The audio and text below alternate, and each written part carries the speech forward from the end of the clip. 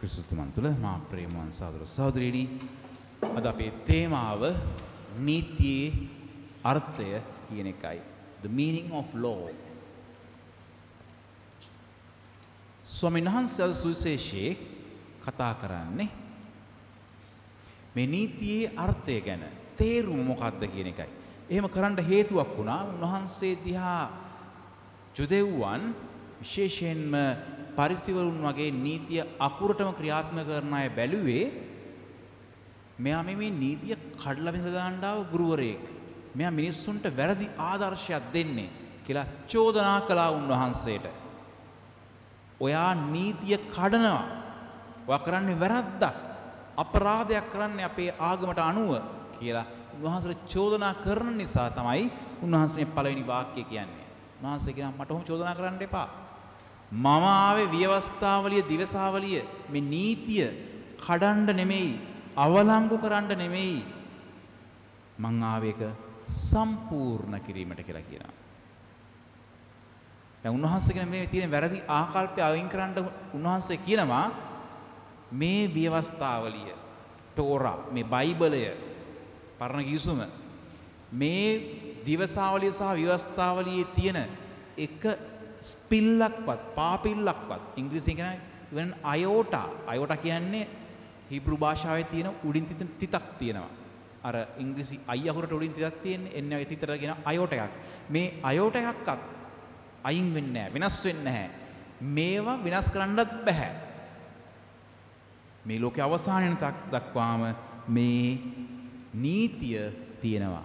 ඒ තරක් නෙමෙයි. මේ නීතිය ක්‍රියාත්මක කරන අයට දේවරප්‍රසාද ලැබෙනවා. සුවර්ග රාජ්‍ය හම්බෙනවා. ඒ ගැන්නේ වැරදක් නැහැ. දැන් ජුදෙව්වරු නීතිය රැක්කේ පළවෙනිම දේ සාධාරණ ජස්ටිස් ඉල්ල නෙමෙයි. මොනකටද? නීතිය රැක්කේ අපිට ගැලවීම තියෙන මෙතන පමණයි. මෝසෙස් තුමා දුන්න මේ නීතිය රැක්කොත් තමයි අපිට ගැලවීම තියෙන ස්වර්ගයට යන්න පුළුවන් වෙන්නේ දෙවියන් ගාවට යන්න පුළුවන් වෙන එකම මාර්ගය මේ නීතිය රකින්නක විතරයි කියලා අදහපු නිසායි. මේ ආගම. මේ තමයි ජුද ආගම. ස්වාමීන් වහන්සේ කියනවා ඒක ඇත්ත. ඒක කිසි වෙනසක් නැහැ. ඒක එහෙම්මම තමයි.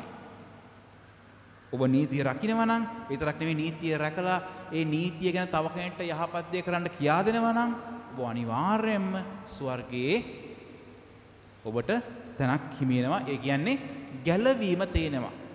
Keep the law you will have your salvation. That's fine.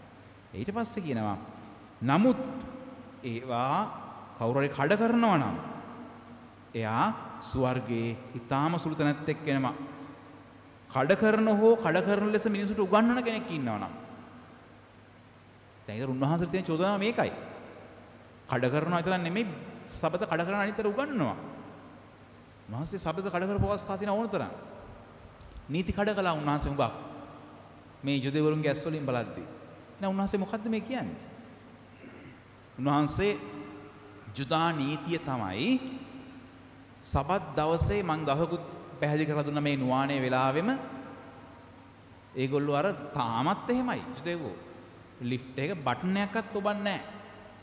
මේ ඇඟිල්ලකින් තද කරන්නේ බටන් එක තද කරන්නේ ඒකට ඒකත් වැඩක් වැඩක් ඒගොල්ලන්ට. එහෙමත් නීතිය ඊටාම තදයි. එහෙම දවසක තමයි උන්වහන්සේ කියන්නේ කොරාට අර සනීප වෙන මනුස්සයට කියන්නේ ඔය මෙට්ටේ කොට්ටේ අරගෙන නැගිටලා යන්න. මේ කරේතෙන් යට තහනම්. නමුත් උන්වහන්සේ කරන්න කියනවා.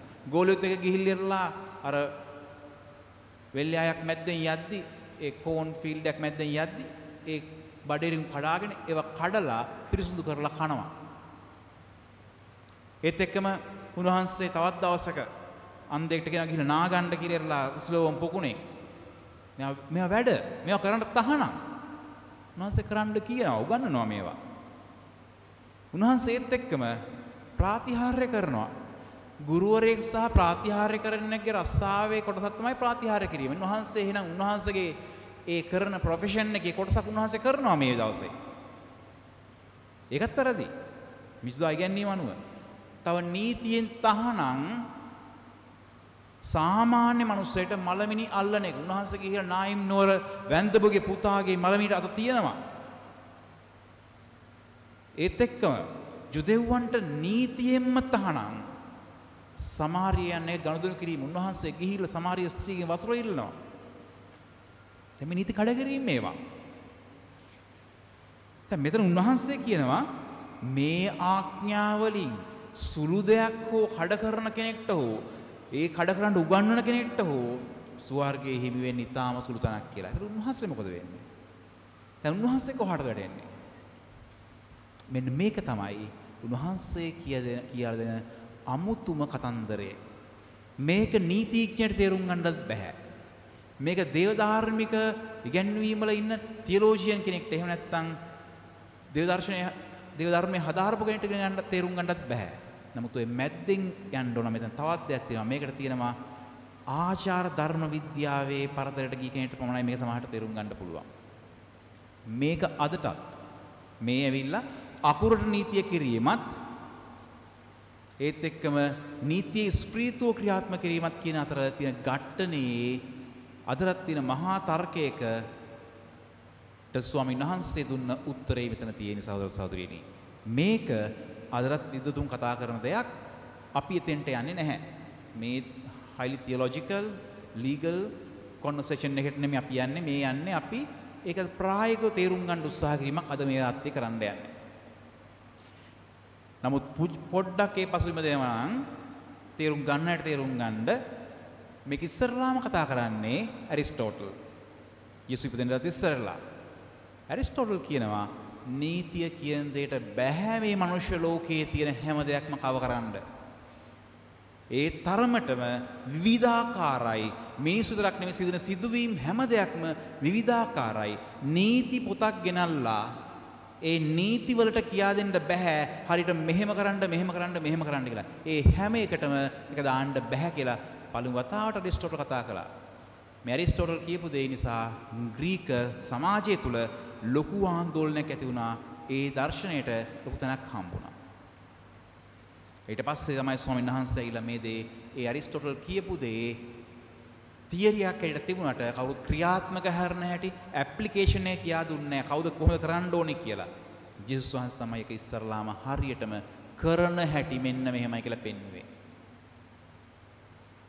ඊළඟට මේ දර්ශනය පසු කාලීනව අපේ දේව ධර්මික ගැන්වීම් වල මේ ඩොමිනිකානු ඒ විශේෂඥයින් දර්ශනවාදීන් අරගත්තා. ඇල්බර්ට් ද ග්‍රේට් ඒ වගේම අපේ මේ උඩ පින්තූර ඇඳලා තියෙනවා. තෝමස් ඇක්වයිනස් මෙතුමාලා මේක ඉතාම ගැඹුරින් කතා කළා.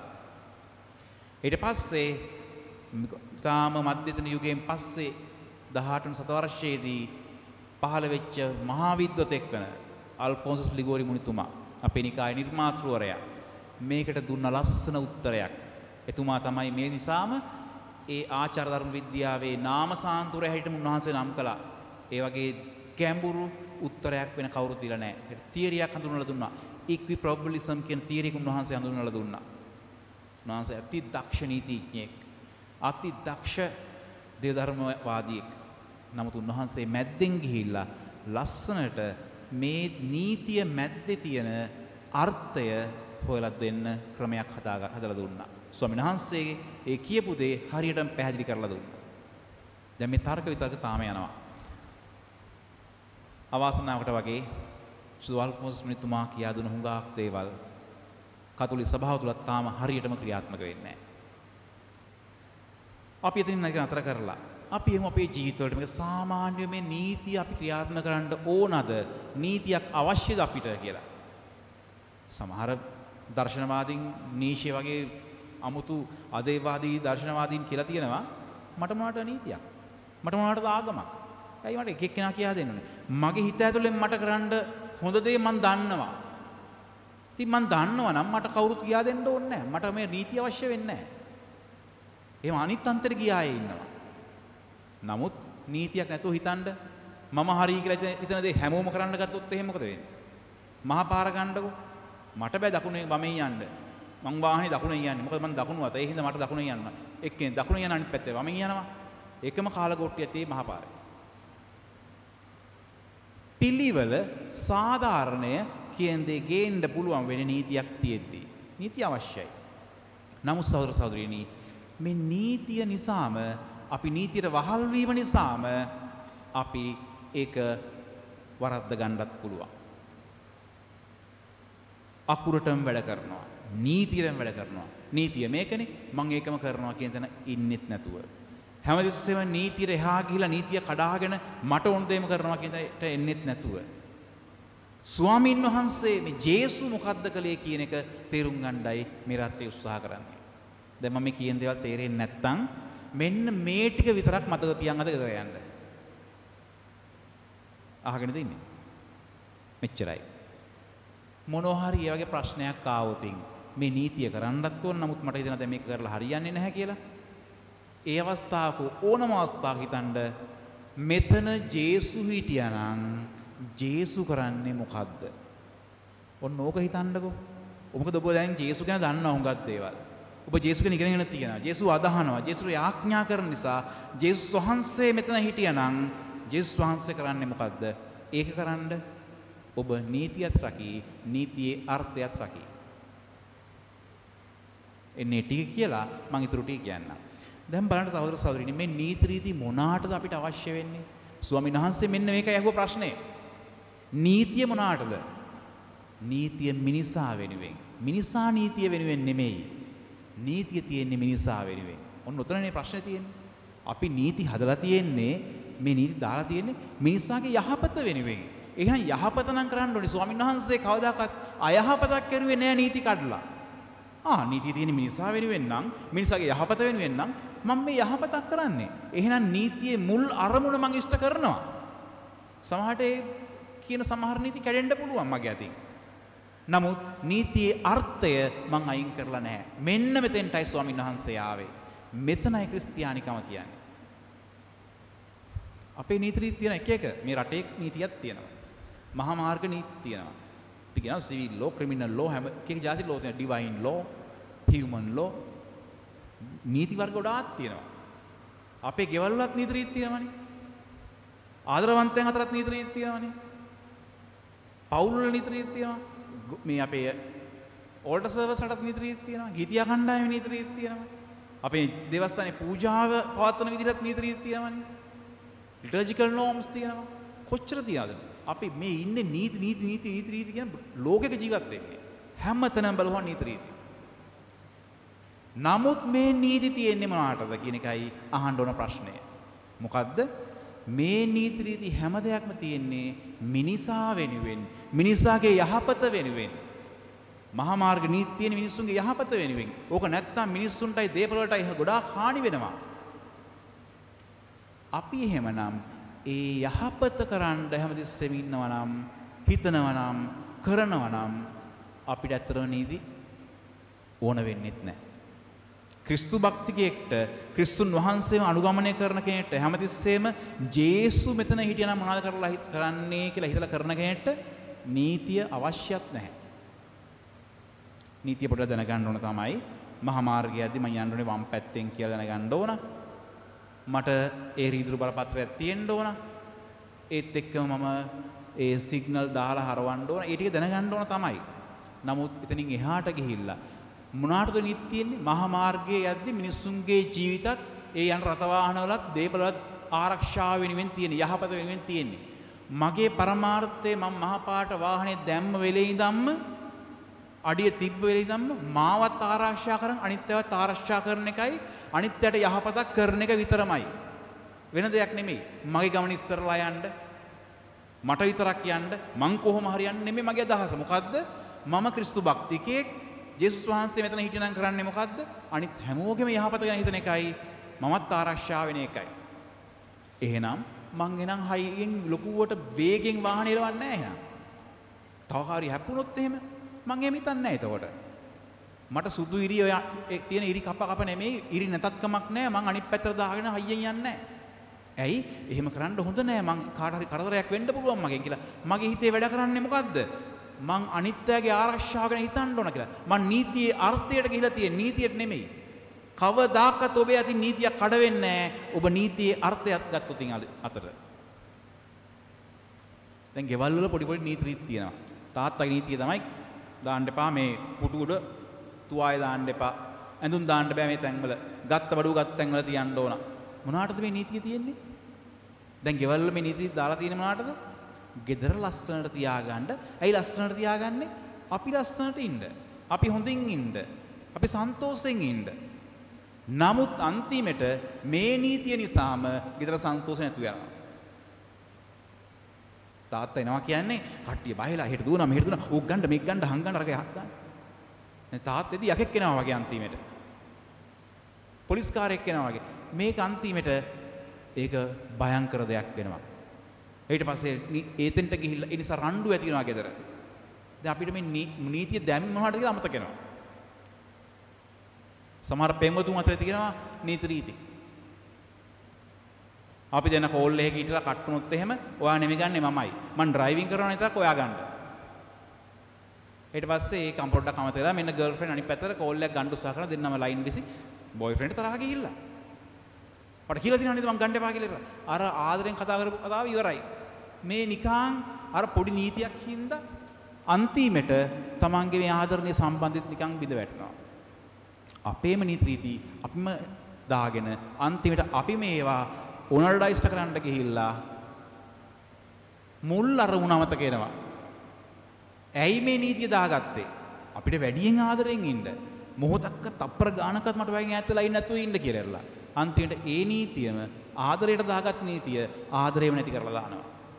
තේරුමක් නැහැ. සහෝදර සහෝදරිනි, එහෙමනම් අපි මේ රටේ නීති රකින්න ඕන. ඒක කිසියම් වරදක් නැහැ. කිසියම් අය තර්කයක් නැහැ ඒකේ. නීති රීති අපි රකින්න ඕන. දේවස්ථාන නීති රීති තියෙනවා. ඒවා කරන්න ඕන අපි. පවුලේ නීති රීති තියෙනවා. අපි ඒවා කරන්න ඕන. ඉෂ්ට කරන්න ඕන. නමුත් ක්‍රිස්තු භක්තිකයෝ හැටියට අපි එයිට එහා පියවරක් තිබ්බේ නැත්තම් අපි නිකම් බොරුවට නීතියට බයේ ජීවත් වෙන මිනිස්සු කොටසක් වෙනවා. අපිට නීතිය අවශ්‍යත් නැහැ. අර කියන වගේ නීතියට මොකද අපි නීතියට එහා. නීතියෙන් එහා පැත්තේ අපි ඉන්නේ. නීතිය අවශ්‍ය වෙන්නේ එහෙම හිතන්නේ නැති අයටයි. අන්න එතකොට තමයි නීතියේ අර්ථය. මේකට අපි කියනවා එපිකෙයියා කියලා. මේක තර්කයේ ගේද්දි මේක විදුතුන් අතරේ මේක ලොකු තර්කයක් එපිකෙයියා කියන්නේ spirit of the law. අපි යන්නේ ස්ප්‍රීතුව. අපි ක්‍රිස්තු භක්තියෙන් හිට අපිට තියෙන කැඳවීම මෙන්න මේ නීතියේ ස්ප්‍රීතුව අපේ ජීවිතවල ක්‍රියාත්මක කරන්න. නීතිය විතරක් ක්‍රියාත්මක කරන්න නෙමෙයි. නීතිය ක්‍රියාත්මක කරන්නේ සාමාන්‍ය මිනිස්සු. නීති ක්‍රියාත්මක කරනවා. අපේ කිතුණු කැඳවීම ඇවිල්ලා නීතියෙන් එහාට ගිහිල්ලා නීතිය තියෙන්නේ ඇයි අන්න ඒ දේ ඉෂ්ට කිරීමයි. අපි එහෙමනම් මේ රාත්‍රිය ආඥා කරමු මෙන්න මේ අවබෝධය වෙනුවෙන්. මම ආයෙත් කියනවා මේක ඊටාම ගැඹුරු දේව ධාර්මික සහ නීතිමය තර්කයක්. තාමත් මේ තර්කයේ තියෙනවා. නමුත් ස්වාමීන් වහන්සේ ප්‍රායෝගිකව කරලා පෙන්නවා ඒ කරන්නේ කොහොමද කියලා. උන්වහන්සේ තරම් මේක පැහැදිලිව ප්‍රායෝගිකව ප්‍රැක්ටිකලි පෙන්නපු වෙන කිසිම කෙනෙක් නැහැ. ඒ නිසා අපිට ඔක අමාරු නැහැ. ආයෙත් කියනවා අහන්න තියෙන්නේ මේ ප්‍රශ්නේ. මේ වෙලාවේ ජේසු හිටියනම් කරන්නේ මොකද්ද? ඊටමල් ලේසියෙන් උත්තරේ හම්බෙනවා. අවංකව ඒ ප්‍රශ්නෙට උත්තරේ දෙන්න ඔබ හරි දේ කරයි ඔබ නීතිය රකී ඔබ නීතියේ ස්ප්‍රීතුව තුළ ක්‍රියාත්මක වෙයි. අපි ස්වාමීන් වහන්සේගේ මෙන්න මේ වරප්‍රසාදය ඉල්ලා මේ රාත්‍රියේ යාඥා කරමු. ආමෙන්.